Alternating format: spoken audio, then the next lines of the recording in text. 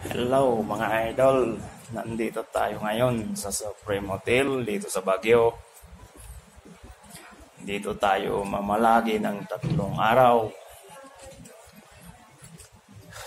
hanggang sa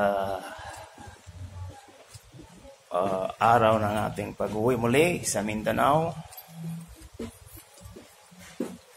Uh, may mga occasion po tayo rito na atinan.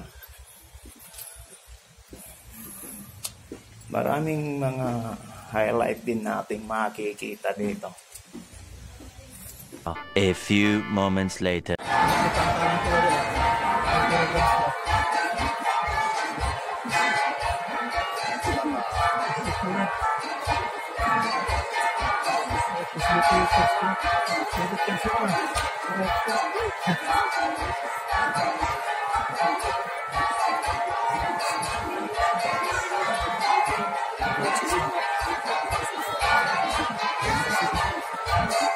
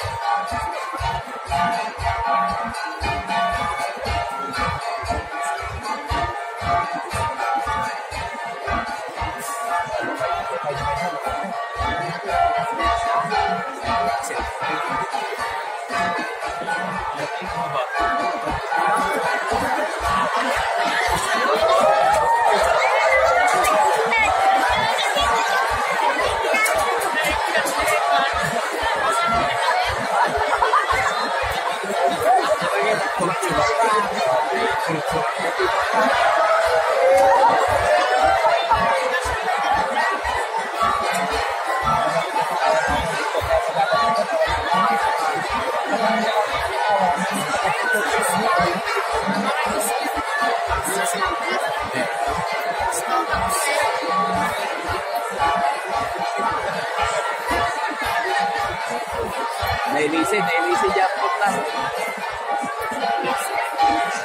accidente, accidente, paciencia.